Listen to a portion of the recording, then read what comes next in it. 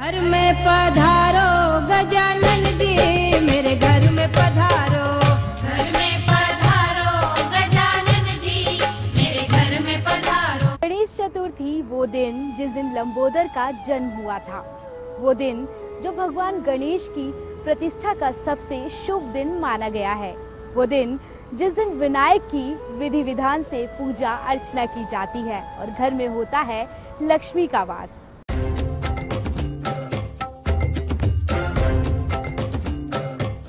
बरसेगा धन आएगी सुख समृद्धि। जब घर पधारेंगे, पप्पा साक्षात। खरीदारी बनाएगी भक्तों को माला माल गणेश चतुर्थी पर बन रहे हैं दो शुभ संयोग। भक्तों को मिलेगा गजानन का पूर्ण आशीर्वाद। करनी होगी गणपति की प्रतिष्ठा। लेकिन रखना होगा वास्तु का भी व्रत और पूजन करें। इस बार गणेश चतुर्थी पर कैसे भगवान गणेश की पूजा अर्चना करें? सबसे पहले तो मनीषा जी, इस बार 5 सितंबर 2016 को गणेश चतुर्थी मनाई जा रही है और गणेश चतुर्थी हमारे देश में एक बड़ा त्यौहार है। खास करके महाराष्ट्र में, गुजरात में, साउथ इंडिया में इसे बड़ा, पब्लिकली बड़ी धूमधाम से मनाया जाता है और उत्तर भारत में भी गणेश जी की पूजा 10 दिनों तक लगातार चलती है। जिस दिन गणपति चतुर्थी होती है, गणेश चतुर्थी होती है, उस दिन गणपति जी का आह्वान अपने घर में किया जाता है। यानी कि लोग मिट्टी के बने हुए गणपति जी या धातु के बने हुए गणेश जी अपनी अपनी श्रद्धा एवं सामर्थ्य के अनुसार ला करके, उनकी मूर्तियाँ ला करके, अपने घर में ब्राह्मण के द्वारा प्राण प्रतिष्ठित करवाई जाती हैं, उनका विधि विधान से पंचोपचार पूजन करके या षोडोपचार पूजन करके गणपति जी के मंत्र का जाप किया जाता है। गणपति जी का आह्वान जो होता है, बड़ा ही सुखदायी माना गया है, क्योंकि गणेश जी जो हैं, विघ्न हरता हैं, दुख हरता हैं और सारे जीवन में हमें मार्गदर्शन देने वाले हैं कि गणपति जी को चतुर्थी वाले दिन अपने घर में विराजमान किया जाता है और उनका विधि विधान से पूजन इत्यादि किया जाता है और पूजन भी बड़ा ही आसान है, इसमें कोई घबराने वाली कोई ऐसी बात नहीं है। जो भी चीज़ गणेश जी को प्रिय है, वो ही गणपति जी को अर्पित करनी चाहिए। गणेश जी को हरी दूब, यानी कि जो हरी घास होती है, जो हमारे यहाँ आसपास बहुत ज़्यादा पाई जाती है, सभी लोग जानते हैं। गोला, यानी कि नारियल, गुड़, विशेष रूप से गणपति जी को प्रिय हैं। और प्रसाद के रूप में जो गणपति जी का प्रिय जो है, वो है मोदक, यानी कि लड्डू। भक्तगण अपनी श्रद्धा के अनुसार जितनी भी संख्या में चाहें, सामर्थ्य के अनुसार, चाहे वो मुक्ति दाने के लड्डू हों, चाहे बेसन के लड्डू हों, या किसी अन्य पदार्थ के लड्डू, गणपति जी को वो भेंट स्वरूप वो अर्पित कर सकते हैं। और उसी का प्रसाद अपने परिवारजनों में, रिश्तेदारों में, मिलने वालों में बांटा जाता है और ये त्यौहार बड़ी धूमधाम से अनंत चतुर्दशी तक भगवान गणेश की प्रतिमा को घर में विराजित करते हैं और कुछ दिन घर में रखने के बाद कैसे उनका विसर्जन किया जाता है। पंडित जी अगर गणेश जी को घर में लेकर आते हैं तो घर के किस कोने में कौन सी दिशा में उनको रखा जाए उनको विराजमान किया जाए? नॉर्थ ईस्ट डायरेक्शन जो होती है उसे कहते हैं डायरेक्शन ऑफ़ गॉड यानी परमात्मा की दिशा। यदि भक्तगणों, आपने गणपति जी की स्थापना करनी है तो घर के ईशान कोण में, यानी कि नॉर्थ ईस्ट कॉर्नर में गणपति जी की स्थापना करें तो बहुत ही अच्छा रहेगा। गणपति जी के मुख्य दर्शन, गणपति जी के सामने से जो दर्शन होते हैं, वो बहुत ही मंगलकारी, बहुत ही शुभ माने जाते हैं। गणेश चतुर्थी का जो दिन होता है, उस दिन कुछ लोग व्रत भी रखते हैं। व्रत किस तरीके से रखना चाहिए और व्रत रखने से जुड़ी हुई क्या मान्यताएँ हैं? बहुत ही अच्छा प्रश्न किया आपने कि इस दिन उपवास रखते हैं। और मैं तो कहता हूँ प्रत्येक माह में जो चतुर्थी आती है, जिस भी व्यक्ति के रोज़गार में कमी आ रही हो, जिस भी परिवार में कोई विशेष रूप से संकट आया हुआ हो, और ऐसी समस्या जिसका निजात नहीं मिल पा रहा है किसी भी तरह के उपाय करने के उपरांत उस पूरे परिवार को मिल करके चतुर्थी वाले दिन, यानी कि गणेश चतुर्थी वाले दिन मिल करके उपवास करना चाहिए। उपवास का जो नियम है, उसमें आपको नमक और सरसों के तेल का सेवन नहीं करना है। आप फलाहार कर सकते हैं। ये थोड़ा सा उपवास कठिन होता है, क्योंकि इसमें विशेष रूप से बड़े सामर्थ्य के साथ और बड़े दृढ़ विश्वास के साथ गणपति जी का उपवास करना चाहिए। हाँ जितने भी लोग गणपति जी का उपवास चतुर्थी वाले दिन करते हैं, वो उनके समस्त विघ्न अवश्य ही समाप्त होते हैं। और यह नियम है कि कोई व्यक्ति लगातार तीन वर्ष तक प्रत्येक चतुर्थी को उपवास करता है तो उसके जीवन की समस्त बाधाएँ, समस्त विघ्न अवश्य ही दूर होते हैं।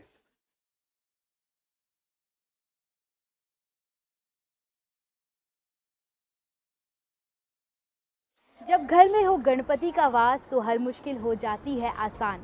और जब दिन हो, गणेश चतुर्थी का, और उत्सव हो, गणेश पूजन का तो बप्पा की कृपा पाने का, इससे अच्छा मौका और क्या हो सकता है?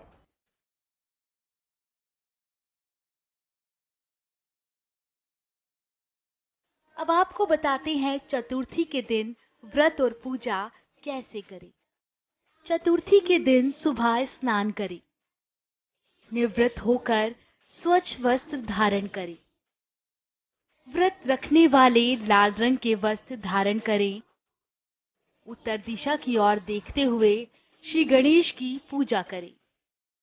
फल, फूल, रौली, मौली, अक्षत, पंचामृत से श्री गणेश को स्नान कराएँ।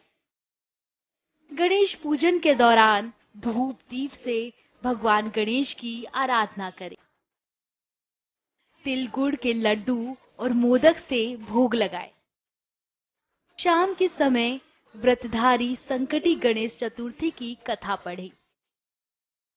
इस दिन गरीबों को दान करे, तिलगुड़ के लड्डू, कंबल या कपड़े दान दें।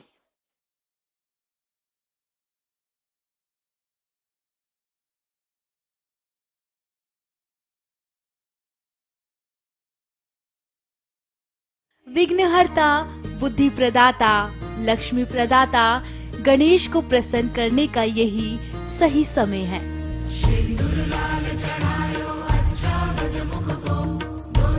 गणेश जी का यह पूजन करने से विद्या, बुद्धि और रिद्धि सिद्धि की प्राप्ति तो होती ही है।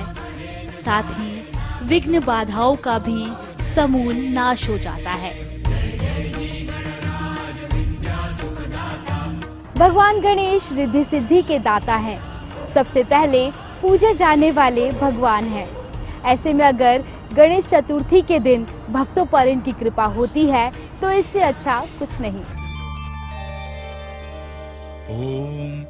अब आपको बताते हैं गणपति को मोदक का भोग क्यों लगाया जाता है। तो 33 करोड़ देवी देवताओं में सबसे प्रथम परम पूज्य भगवान श्री गणेश है। विद्या, बुद्धि और ज्ञान के दाता, जिन्होंने समय समय पर अपने ज्ञान और बुद्धि के बल पर बड़े से बड़े संकट का हल निकाला। यही तो महिमा है गणपति की। उनके सामने जिसने भी शीश झुकाए, भगवान ने सदा ही उसे संकटों से उभारा।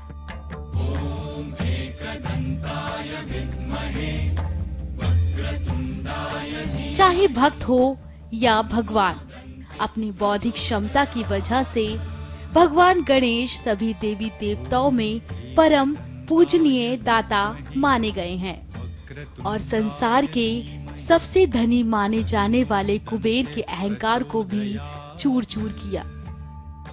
पुराणों के अनुसार एक बार कुबेर अपने धन के भंडार को देखकर इतराने लगे। उन्होंने सोचा कि मैं इतना धनवान हूँ ये लोगों को पता कैसे चले। इसके लिए कुबेर महाराज ने एक भव्य भोज का आयोजन किया। कुबेर ने सोचा कि भगवान शिव मेरे आराध्य देवता है। वो इस भोज में आ जाए तो मेरा मान और बढ़ जाएगा। यही सोचकर कुबेर कैलाश पहुँच गए। कुबेर ने भगवान शिव और देवी पार्वती को भोज में निमंत्रण दिया। भगवान शिव कुबेर के मनोभाव को समझ गए और कुबेर के अहंकार को दूर करने की योजना बना ली। शिव जी ने कहा कि वो तो भोज में शामिल नहीं हो पाएँगे, लेकिन गणेश ज़रूर भोज में शामिल होंगे। भगवान गणेश समय पर कुबेर के भोज में पहुँच गए। गणेश जी ने कहा कि उन्हें तेज भूख लगी है, जल्द ही भोजन का प्रबंध करें। कुबेर ने अपने धन का प्रदर्शन करने के लिए गणेश भगवान को सोने की थाल में भोजन दिया। गणेश जी ने जल्द ही भोजन खत्म कर लिया और भी भोजन की मांग की। इस तरह से कुबेर भोजन परोसते जाते और भगवान गणेश भोजन खाते जाते। ऐसे में हज़ारों लोगों के लिए बना भोजन खत्म हो गया। लेकिन गणेश जी का पेट नहीं भरा। आखिरकार गणेश जी कुबेर की रसोई में पहुँच गए और जो कुछ रसोई में था, उसे भी खा लिया। इसके बाद जब भगवान ने कुबेर से और भोजन की मांग की तो कुबेर क्षमा मांगने लगे। ऐसे में गणेश जी ने कहा कि कुबेर, जब तुम्हारे पास भोजन का प्रबंध ही नहीं था तो भोज पर क्यों बुलाया? क्रोध में गणेश जी ने विराट रूप धारण कर लिया। ऐसे में अपनी जान को खतरे में देख कुबेर ने महादेव और माँ पार्वती से गुहार लगाई। तभी भगवान शिव माँ पार्वती के साथ वहाँ प्रकट हुए और कुबेर को उनके अहंकार पर सबक सिखाया। भगवान गणेश की भूख को शांत करने के लिए माता पार्वती ने उन्हें अमृत से तैयार दिव्य मोदक दिया, जिसके बाद से भगवान गणेश की भूख शांत हुई और यही वजह है कि कोई भी पूजा क्यों ना हो कोई भी आयोजन क्यों ना हो। भगवान गणेश को उनके प्रिय मोदक का भोग ज़रूर लगाया जाता है। वक्रतुण्डाय धीमहि तन्नो दन्तिः प्रचोदयात्। तो कार्यक्रम में वक्त हो चुका है एक छोटे से ब्रेक का। ब्रेक के बाद तुरंत लौटते हैं। घर में पधारो गजानन जी मेरे घर में पधारो।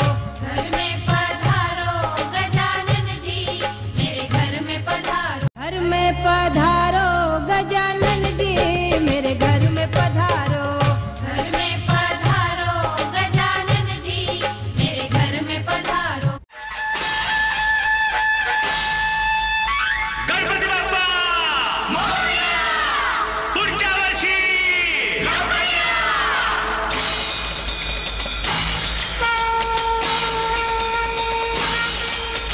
चतुर्थी की धूम दक्षिण भारत में काफ़ी ज़्यादा देखने को मिलती है।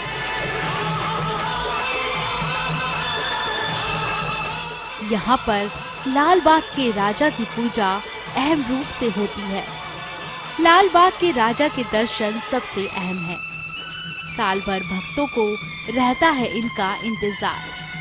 तब राजा लगाते हैं अपना दरबार। प्रजा करती है उनका सत्कार फिर राजा करते हैं सबका उद्धार।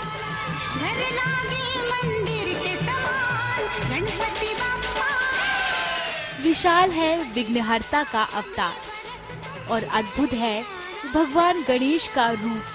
चक्र, शंखधार, भगवान गणेश की प्रतिमा, भक्तों का मन मोह लेती है। यहाँ राजा का होता है राशि श्रृंगार। और राजाओं जैसा सजता है गणपति का दरबार। करोड़ों की संख्या में है लालबाग के राजा की प्रजा। हर दिन लाखों की तादाद में श्रद्धालु अपने कष्टों को लेकर आते हैं। बप्पा के दर्शन करने के लिए यहाँ भक्तों की दो कतारें लगती है। एक राजा के दर्शन करने वाले भक्तों की और दूसरी अपना क्या परंपरा है? बहुत ही अच्छी यहाँ एक किदवंती भी है। दो प्रकार की कथाएँ यहाँ पर है। ये वैसे तो गणेश चतुर्थी भगवान गणपति जी के अवतरण का दिन है। मतलब उनके उत्पन्न होने का दिन है। यहाँ पर दो मान्यताएँ हैं। एक मान्यता ये तो यह है कि जब माँ पार्वती स्नान कर रही थी तो अपने जो उन्होंने उपटन वगैरह लगाया हुआ था, या जो अपनी शरीर की जो मैल और उपटन से जो उनसे उतरा तो उन्होंने उसका शक्ति का आह्वान करके गणपति जी का निर्माण किया था और वो सजीव रूप में हो गए थे और उन्होंने कहा था कि, माँ, मैं हर तरह से आपकी रक्षा के लिए तैयार हूँ। तो माँ पार्वती ने उन्हें अपनी रक्षा में, उन्हें अपने द्वार पर खड़ा कर दिया था। तो जब से ही गणपति जी का अवतरण दिवस माना जाता है, मान्यता है कि गणपति चतुर्थी वाले दिन ही वो उत्पन्न हुए। पर साथ में एक मान्यता और भी है कि भगवान शिव उस समय आ रहे थे और माँ पार्वती अंदर स्नान इत्यादि कर रही थी और गणपति जी ने इस चीज़ का विरोध किया, यानी कि भगवान शिव को भी उन्होंने नहीं आने दिया और एक बहुत ही भयंकर युद्ध उन दोनों में हुआ। आखिरकार भगवान शिव जो है, अति शक्ति का प्रदर्शन करते हुए उनका सिर काट दिया गया और उनका सिर काटने पर उनका सिर धड़ से अलग हो गया। उसके बाद जब माँ पार्वती को इस बात का पता लगा तो वे बड़ी क्रोधित हुई और उन्होंने कहा, जैसे भी हो, मुझे मेरा पुत्र वापस चाहिए और फिर ब्रह्मा जी ने उनके एक हाथी का सिर जो है काट करके गणपति जी पर लगा दिया। जब से उनका जो मस्तिष्क है मस्तिष्क है, वो बिल्कुल हाथी का जो सिर है, वो लगाया जाता है, जिसमें सूंड होती है। ये भी एक कथा मानी जाती है कि इस दिन जब से ये सिर लगाया, युद्ध के बाद वो गणपति चतुर्थी है। तो थोड़ा सा विरोधाभास है, परंतु कुल मिलाकर के भगवान गणपति जी का प्रकाट्य दिवस अवश्य है। इस बात में कोई भी किसी प्रकार का संचय नहीं। और एक मान्यता है हमारे देश में सनातन धर्म में कि गणपति जी के प्रकाट्य दिवस के रूप में जो भी कोई व्यक्ति गणपति जी की आराधना करता है, साधना करता है, मंत्रोपचार करता है या किसी भी तरह के मंत्र के उपचार के माध्यम से गणपति जी की सेवा आराधना करता है तो उन्हें पूरे वर्ष भर उनके जीवन में विघ्न नहीं आते। पूरे वर्ष भर उनको जीवन में तरक्की, उन्नति मिलती है। यानी कि आपके जीवन में भी मित्रों, भक्तगणों, अगर किसी प्रकार की कोई समस्या है, कोई तरक्की नहीं हो रही, उन्नति नहीं हो रही, कोई रोग, दोष आपके परिवार को बहुत ज़्यादा तंग कर रहे हैं तो आप अवश्य ही गणपति जी की स्थापना अपने घर में करें। अब आपको बताते हैं गणेश चतुर्थी से पहले किस तरह से भगवान गणेश की छोटी और बड़ी कई सारी मूर्तियाँ बाजारों में दिखनी शुरू हो जाती हैं और मूर्तिकार किस तरह से उनकी प्रतिमाएँ बनाते हैं।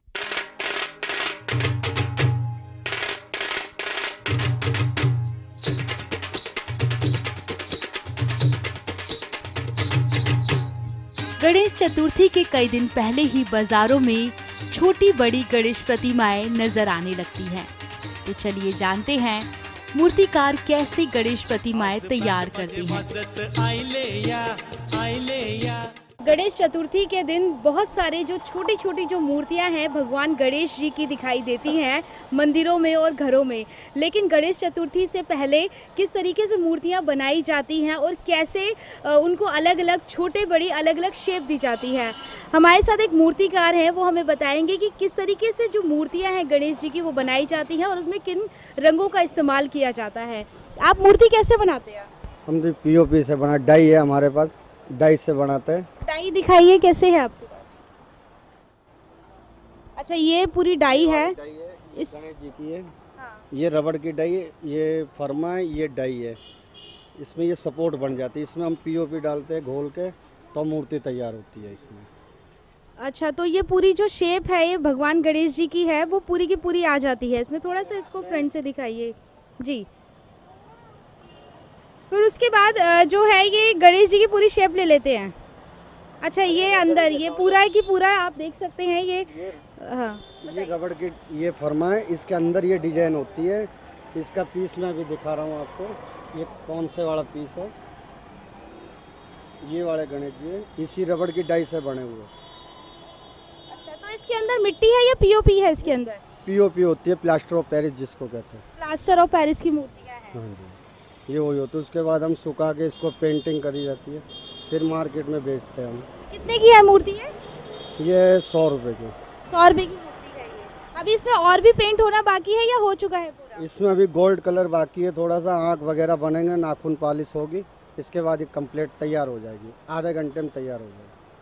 तो ये सौ रुपये में आप अपने घर ये गणेश जी की मूर्ति ले जा सकते हैं। ठीक रीजनेबल प्राइस है लेकिन ये केमिकल से बनी हुई है तो थोड़ा सा आप सोच सकते हैं क्योंकि केमिकल वाली मूर्तियाँ कहीं ना कहीं हमारे पर्यावरण के लिए दूषित तो करती ही हैं। और दूसरा आप बताइए क्या सबके ये इस तो बड़ी जो मूर्तियाँ जो बनती हैं उसके लिए आप बड़ा वाला सांचा यूज़ करते हैं? बड़ा साचा सबके डाई अलग अलग होती है। जैसी डाई होगी ऐसी मूर्ति तैयार होगी ये पीछे भी हम कुछ मूर्तियाँ देख रहे हैं। ये आपका कलर है। ये जो कलर है इस किस तरीके से आप कलर करते हैं? मूर्ति पर करके दिखाइए ज़रा।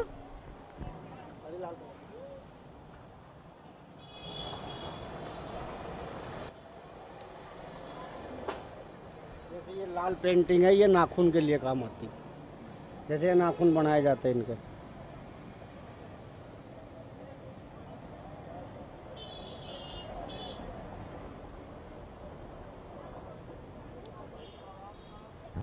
ये छोटा सा यहाँ पर चूहा बोलते हैं, मुशक बोलते हैं ये गणेश जी का।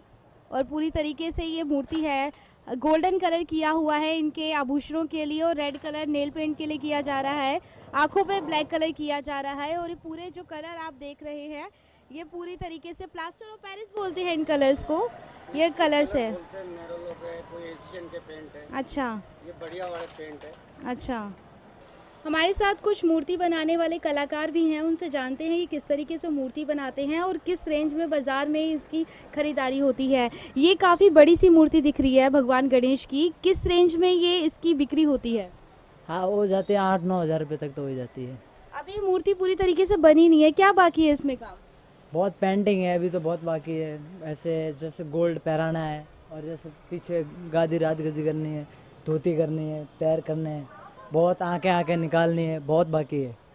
अच्छा तो इसका इनका मूषक भी है ये काफ़ी बड़ी मूर्ति है लेकिन जो इनका मूषक है वो काफ़ी छोटा सा साइड में दिखाई दे रहा है। अलग सा होगा जी अलग अच्छा। साइड अलग से हैं इसके मूषक अच्छा वो अलग से भी दिख रहे हैं इसके मूषक।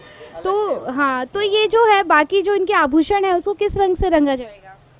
वो तो फिर पेंटिंग के ऊपर ही है ना सारा। पेंटिंग के हिसाब से रंगा जाएगा जैसे ग्राहक बोलते हैं वैसे फ़ोटो से देख के कर देते पेंटिंग अच्छा तो इसके लिए आप अलग से फ़ोटो भी देखते हैं? हाँ फ़ोटो भी मेरे पास। अच्छा अच्छा। और साइड में ये छोटी छोटी मूर्तियाँ भी रखी हुई है काफ़ी बड़ी मूर्ति है तो ये एक छोटी मूर्ति है यहाँ पर। ये जानती है कि, कितने तक का रेंज होगा इस मूर्ति का? ये हो जाएगा पाँच साढ़े पाँच हज़ार रुपये तक हो जाएगा इसका साढ़े पाँच हज़ार में पूरी मूर्ति। तो एक बार में ही आप पहले सब लोग सब जितनी भी मूर्ति हैं यहाँ पे सबका मुकुट रंगते हो फिर एक ही बार में सबके जो आभूषण है वो रंगते हो एक ही बार में सब चीज़ें होती हैं? नहीं ये पाँच छः दिन लग जाते हैं जी इसमें पेंटिंग होने में। तैयार भी तो होता है और मेहनत भी बहुत है इसमें तो लगती भी है। मेहनत करते सारे दिन पसीने में और क्या करें पानी बारिश पा ये गिरता है बारिश ऊपर तरपा ढकते हैं और फिर मेहनत भी बहुत है क्या करें। सारे दिन काम करते हैं और मूर्ति बनाते हैं जी।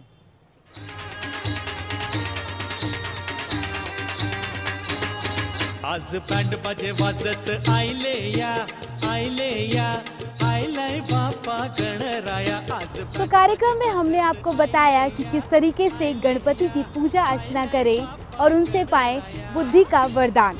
अब मुझे दीजिए इजाज़त गणपति बप्पा मोरिया। घर में पधारो गजानन जी मेरे घर